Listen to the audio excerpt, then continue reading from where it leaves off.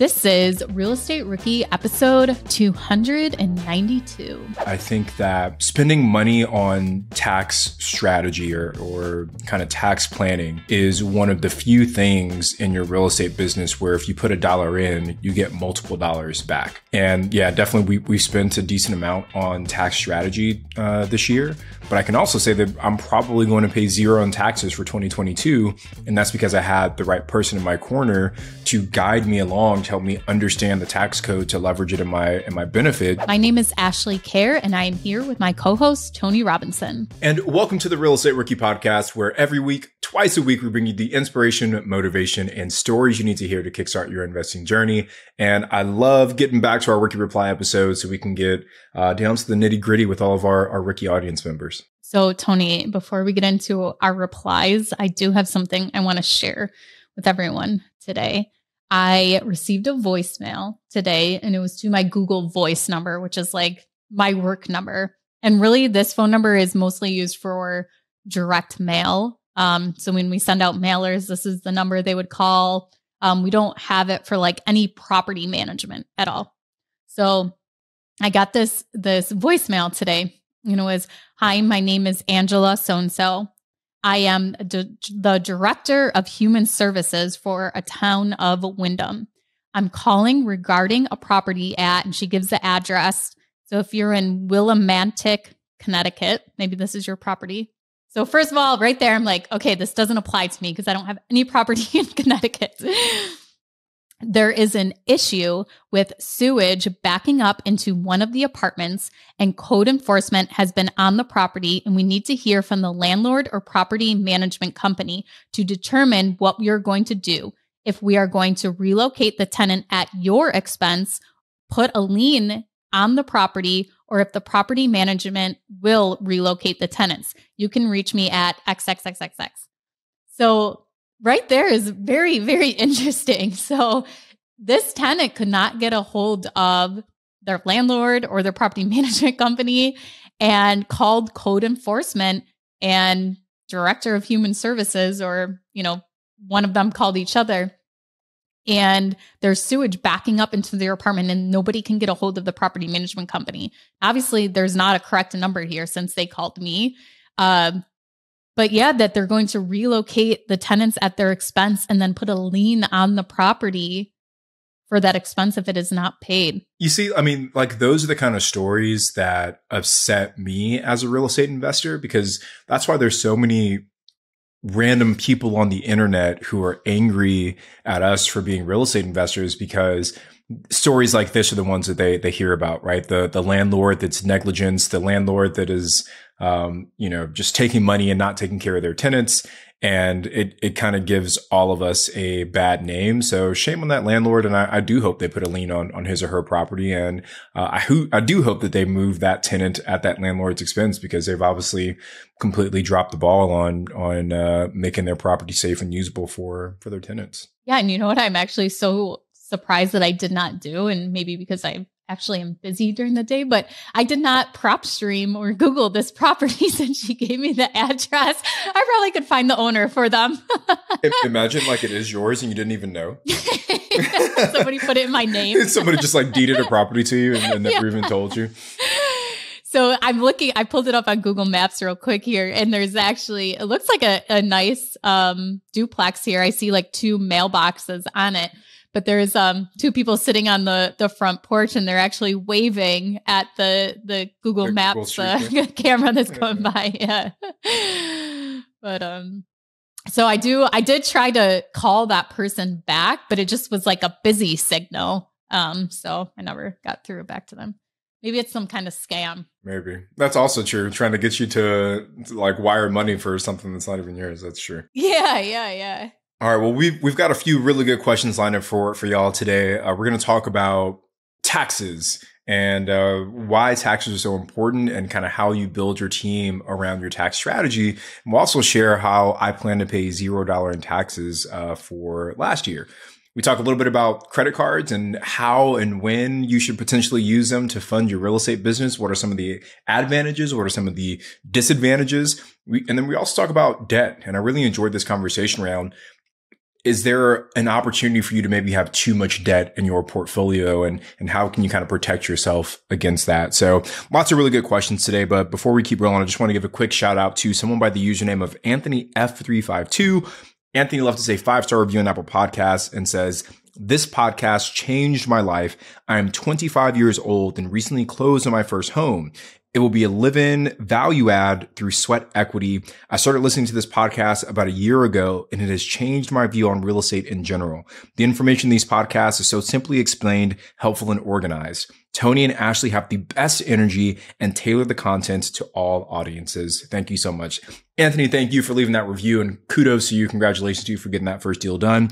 And for all of our rookies that are listening, if you haven't yet left us a rating review on Apple Podcasts or Spotify or wherever it is you're listening, please take a few minutes to do so because the more reviews we get, the more folks we reach, more folks we reach, more folks we can help. All right. So today's first question comes from Brittany Dave. And Brittany's question is, do y'all use a real estate specific CPA for your taxes or do you just have a regular CPA that is capable of handling real estate investment business? Businesses. I'm just starting out and I would like to meet with a CPA to discuss matters and services that I will need from them for next year, but I'm not quite certain where to start. I'm in a rural area, so I don't have that many great options. Man, a lot to unpack from this first question. So, the first thing that I'll say, and this is for Brittany, this is for every single rookie that's listening. If your plan is to build a relatively big real estate portfolio where you have more than maybe one or two deals, I think every single person should invest early and invest often into good tax strategy advice and into good tax preparation. Uh, because if you're able to set a strong foundation for yourself when you have your first property or, or even as you're gearing up for that first property, it makes the tax strategy and, and planning so much easier when you've got four, five, 10, 20, 30 properties. So that's, that's my first piece of advice is that I think, uh, us, me and my partners in our business, we waited too long to get that good tax advice and it, it kind of came back to, to bite us in the butt. Um, I guess Ash, before we even answer any of these, like any parts of Brittany's question, at what point in your business, like how many deals had you done when you hired a CPA to kind of help you out? Well, I didn't hire a specific CPA that was just real estate investing. That I didn't do until last year. So, quite a while into my investing journey. But the CPA that I did have prior to that, um, she does have knowledge of, you know, general knowledge of investment properties. The the thing I think to look at too is what kind of knowledge do you have? Um, it's the same with selecting a real estate agent. What do you need the agent for?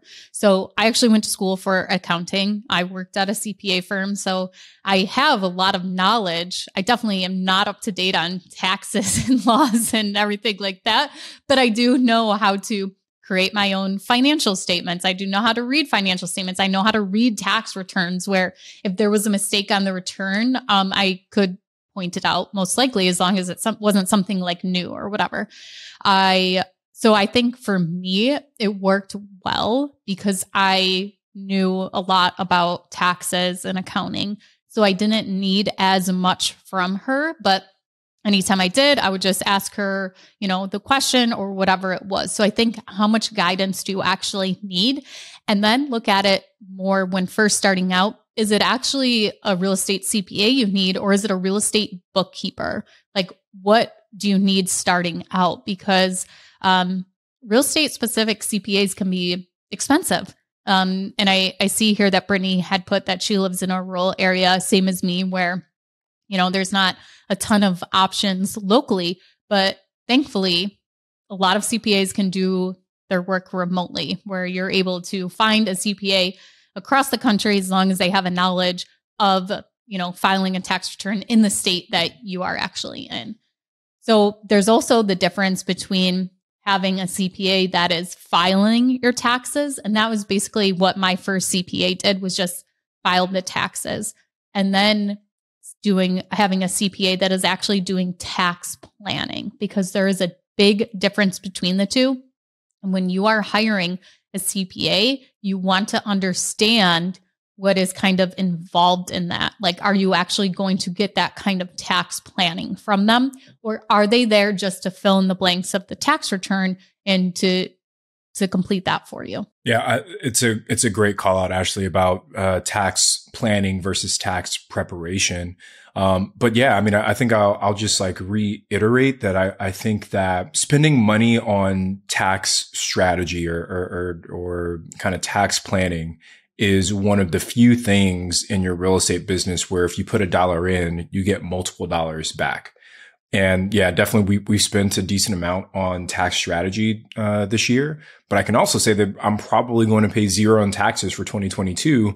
And that's because I had the right person in my corner to guide me along, to help me understand the tax code, to leverage it in my, in my benefit so that I'm able to basically reduce my taxable liability down to zero. Um, and again, that, that comes from having, having the right CPA. So I think for me, Brittany, my answer would be I would encourage you to find a CPA that specializes in real estate investing. And Ashley and I talked about this on a previous episode, but you know, I, I, think a mistake that a lot of people make when they're looking for CPAs or attorneys or agents or whoever is they ask the question, do you work with real estate investors? And of course, their answer is always going to be yes. But I think a better, more, more pointed question to ask is, what percentage of your current clientele are active real estate investors?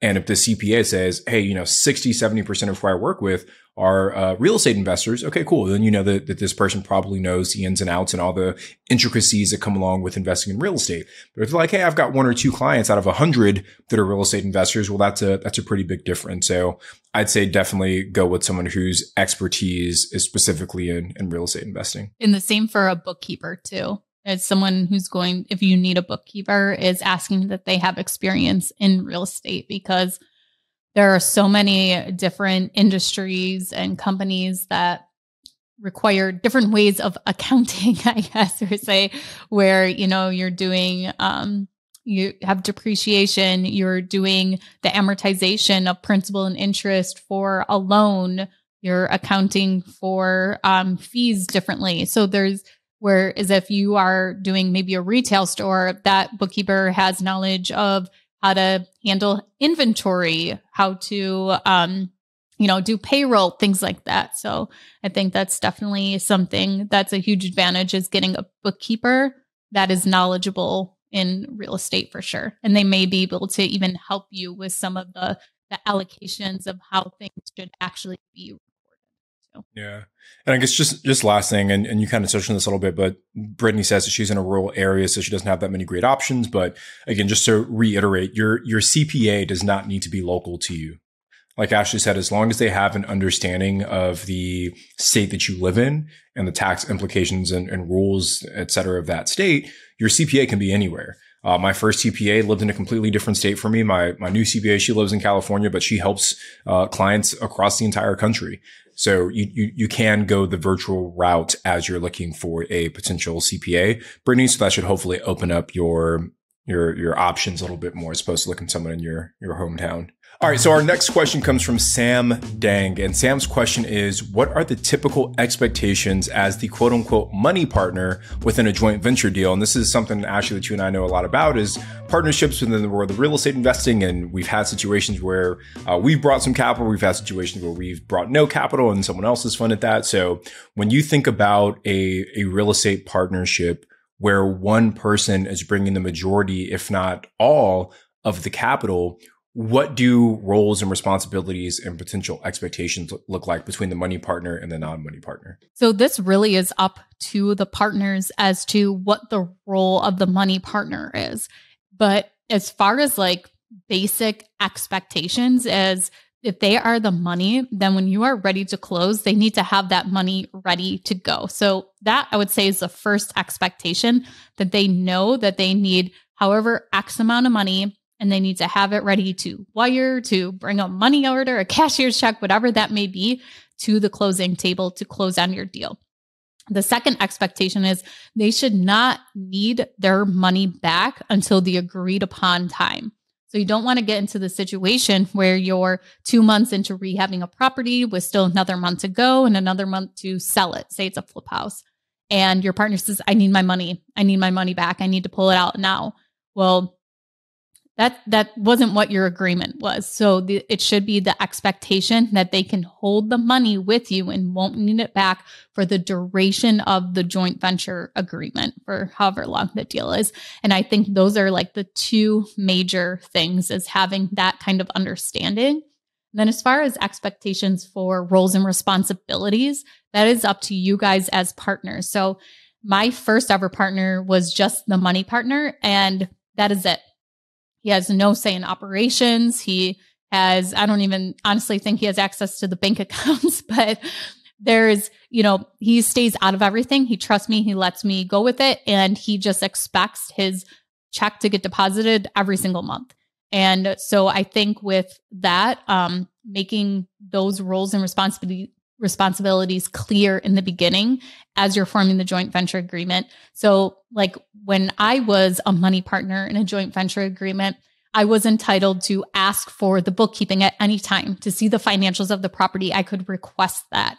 Um, another thing may be that you're sending the money partner a monthly statement just automatically. The 15th of the month, here's what we spent so far. Here's maybe where we are at the project, things like that. But that's up for you guys to decide, or it can just be um, somebody who's just given the money and just saying, you know what, just let me know when my check's ready to to pick up when we've sold the deal.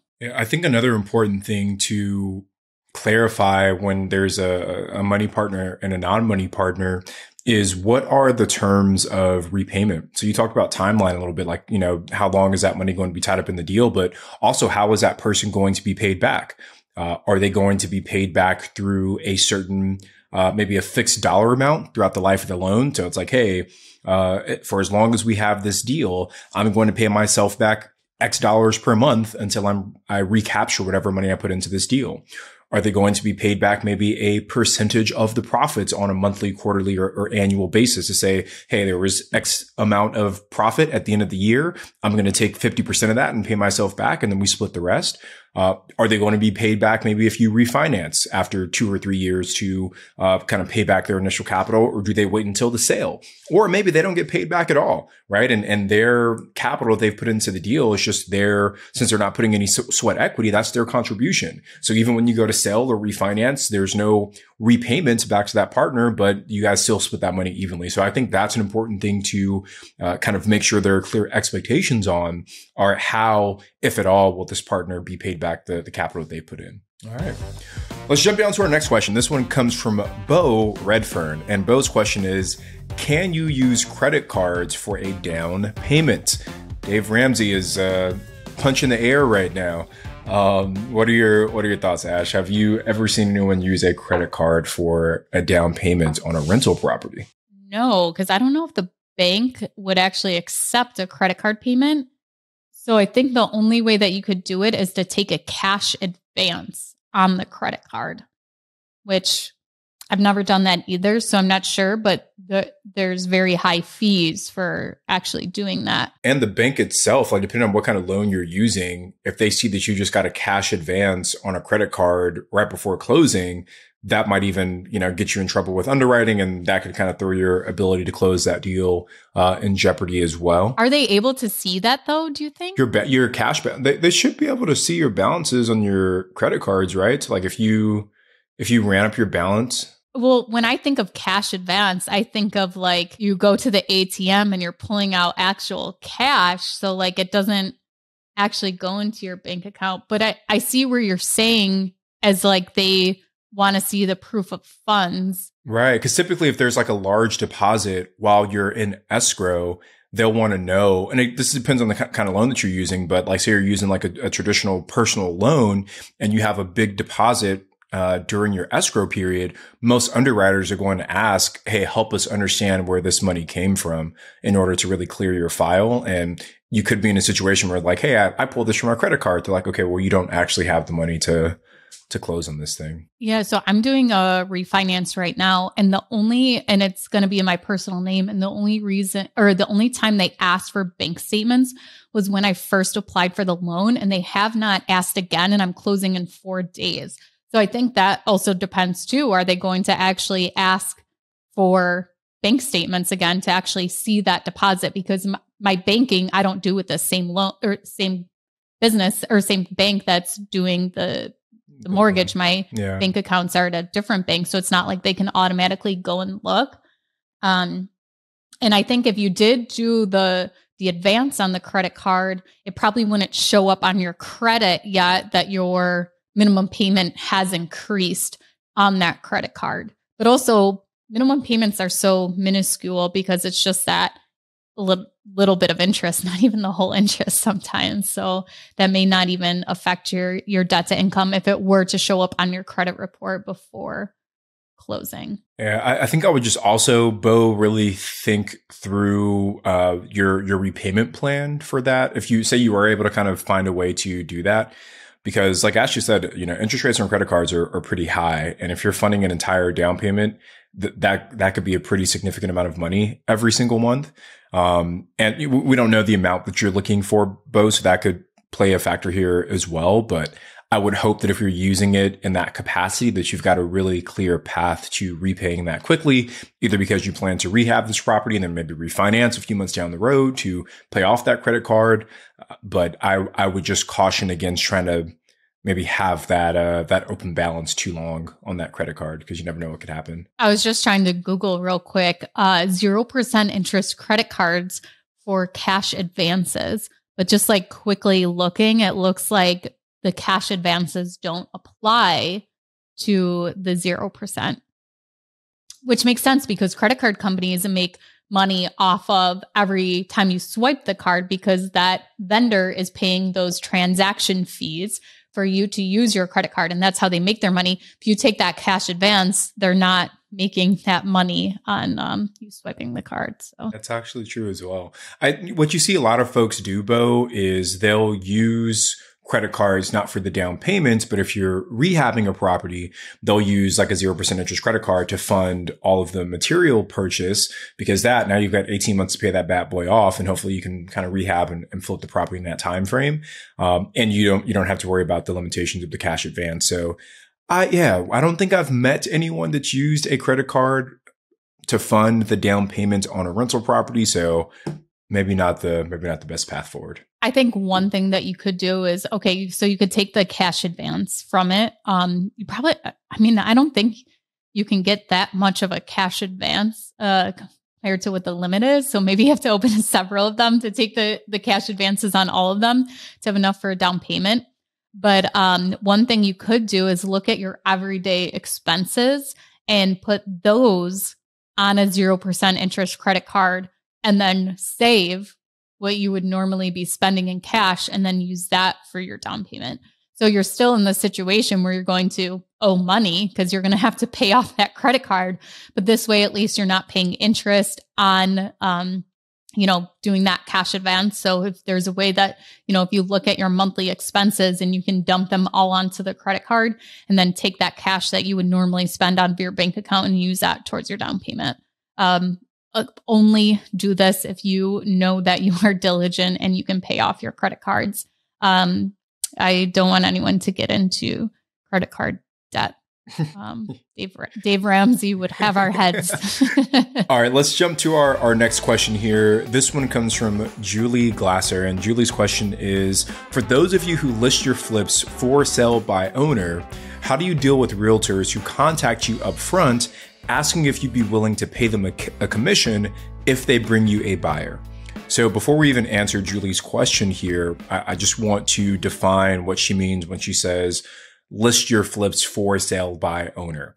So oftentimes when you sell a home or you go to, to list a home for sale, you contact a real estate agent or realtor, and then they turn around and list your property on the MLS. And then they are in charge of doing the showings, basically finding you a buyer, uh, then facilitating that transaction from the time that you open escrow until you actually close on the sale. And that's how realtors make a living, right? They find buyers, they find sellers, match them up, and they take a split of, of the commission going for sale by owner means you bypass the real estate agent and instead of using the, the, the agent to list and find buyers and facilitate that transaction, you do all of that work yourself. Now, I don't know the numbers off the top of my head, but I feel like I've heard it and seen it in so many different places that the majority of people who sell, uh, who list their properties for sale, for sale by owner tend to make less money. Uh, and the folks who use agents tend to be able to draw a, a slightly higher purchase price. Um, and it's because that's what they do for a living. That's what they're good at. So first, I would just really have you question yourself, Julie. What is your motivation for going for sale by owner? Do you have the experience to market your property correctly, to uh, find a buyer, to really facilitate that transaction, to negotiate effectively? Because every purchase of a home has some level of negotiation in terms of credits from the seller and things of that nature, especially right now, given that it's more of a buyer's market than a seller's market. Uh, if you don't have that experience, you could find yourself in, in kind of a tough situation. I actually got a phone call today. So I'm selling a building for sale by owner. And I got a call today from a real estate agent that said, and so her office is actually right next door to this building. And she said she had somebody walk into her office and ask about it. So she's like, I just thought I would call and get some information. And so I told her about the building, what the price was, things like that. And she said, you know, I, you know, if I end up having a buyer, I'll let you know. And I can usually work out terms with the buyer where they're paying my fee. And uh, so I thought that was actually interesting that it wasn't her first question wasn't, would you be willing to pay me a commission if I'm able to find a buyer? She was already saying I might be able to have a, or I probably can have a buyer pay my fee for negotiating this deal for them and, and getting it done. And but I I ended up saying to her, I was like, if, and if that doesn't work out, I would be open to negotiating something with you too if you did bring a buyer to the deal because I, I think it is worth it. And in that situation, you're not signing a listing agreement where you're locked in with one real estate agent. So everyone that calls you, you can say, sure, go ahead. it, whoever brings you the buyer first, you know, gets that commission. And I'm not sure how that would work as far as fees and stuff, but it's probably going to be um, a situation where you're paying maybe less than you would if you were to get a listing agent, but I don't know that offhand. Typical fees around here are 6% to sell a property, where 3% goes to the buyer's broker's office and then the other 3% goes to the seller's broker's office where this would almost kind of be a dual agent scenario but they wouldn't be working on your behalf. And one reason this works so well in New York state is because you have to use attorneys to close anyway. So basically your attorney can just work directly with their attorney and you don't you know you can bypass the agent in some aspects where a dual agent can can be fine. It's that negotiating part. So if you feel comfortable, you know, negotiating directly with an agent and not having an agent represent you, then I think this would be a fair scenario, especially if the property is sitting and it's not selling. Calculate how much you'd actually be giving up in commission, and maybe it's worth it. Yeah, I, you mentioned about six percent for where you're at. I want to say uh, for the properties that we bought and sold recently, we're we're around like five percent uh, in the markets that we're at in California. So two and a half to the uh, listing agent, two and a half to the to the buyer's agent, which uh, seems pretty reasonable. And also, that is sometimes negotiable. So the investor that I've done work for, and just like he used to make me ask for discounts all the time, and I would get so embarrassed. I'm like, no, please don't make me. But like one thing he always did was, ah, tell him we'll do five percent instead of six. Just tell him, tell him. Like, uh, but this is like his job. Like he's just trying to make money. Like, you know, I get all heartfelt, like embarrassed that I was, you know, trying to make somebody every single time the person be like, yeah, okay, sure. And I was just like amazed. And now I've like overcome that fear completely as to like asking for a discount because every single time he proved me wrong that they wouldn't say no. And, um, yeah, so it worked out well. And if they say no, okay, they say no. That's it. And then you agree to what originally was asked and move on. And for you know, for all of our rookies, I think that's a benefit as well. Is that you can position yourself as a real estate investor. You're not just a one-time client that's going to buy a house every two decades. Like you say, hey, I, am going to buy two houses a year for the next five years, right? Like I'm going to be a volume client for you, and that's leverage that you can have because now they don't have to hustle up for that next client. They know they're going to be able to work with you at least a, a couple times this year. So uh, Julie, I would just say for yourself, like really think about what your motivation is for going for sale by owner. Um, and like Ashley said, I, I, don't think I would necessarily turn down a buyer's agent if they came to me with a buyer because it, it means that, you know, that's a little bit less work on, on your end, but you have to ask yourself if you feel that it's worth, uh, the cost associated with this. Now, the last thing to kind of keep in mind too is that you, you also want to think about how much time is it going to take for you to find a buyer and facilitate that transaction on your own? And if bringing in a buyer's agent can maybe cut that time in half, now there's less, there's less holding costs, right? There's less maybe headache around you managing this property yourself if, if, that's what you're doing. So there's other factors to consider as opposed to just like, Hey, I don't want to pay any agents any fees whatsoever. All right. So our next question here comes from Chiloe Carter Davis. And question is When buying property that you will owe on for 20 to 30 years, are you concerned with having so much debt as you continue to add to your portfolio. For example, having five $200,000 homes. Definitely in times like now when being evicted for not paying rent is being somewhat protected. So it sounds like uh, Chiloe's question here is around should you continue to use leverage to purchase real estate uh, investments as your portfolio scales? Or maybe should you think about paying off some of your rentals so you don't have, uh, or so you don't exceed a certain level of debt. So sounds like Chiloe might be, uh, drinking the Dave Ramsey Kool-Aid a little bit here as well. Uh, what are your, what are your thoughts on that, Ashley? Should you put, should you, should you put a cap on the amount of debt that you have in your rental portfolio? Well, I think that the fear she states out is that evictions are you know, taking a lot longer uh, because of COVID, where there was the eviction moratorium. I have somebody that has lived in a unit for 12 months um, without paying rent because they keep applying for state or county funding. And it's about four months behind. So, like, by the time it's processed, they're another four months behind on rent. But you can't evict them while they have submitted an application for this funding. Then once the funding is approved or denied, you can go ahead and start the eviction. But if the funding has been approved and they get funded, they can go ahead and apply again. So then it will stop the evic- eviction again.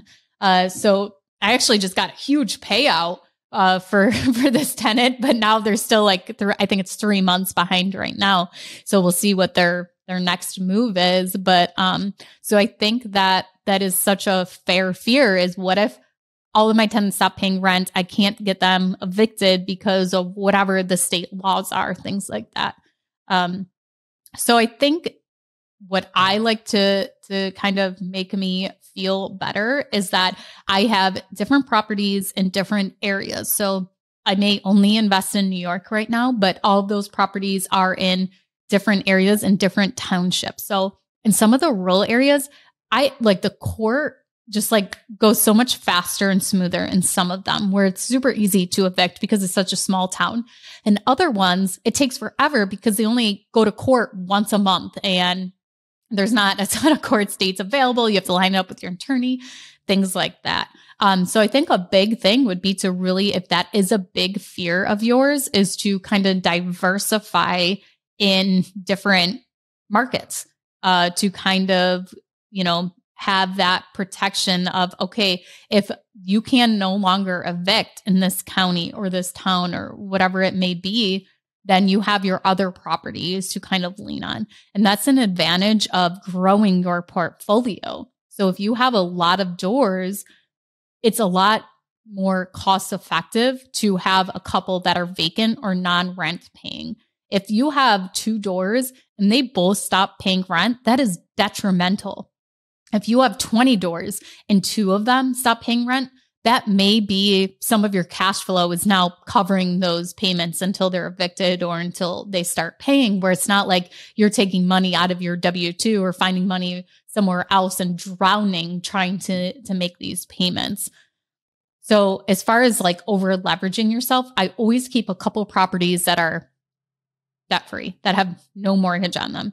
I mean, they're not very, they're not high end properties where it's, you know, hundreds of thousands of dollars that I'm letting sit in these properties.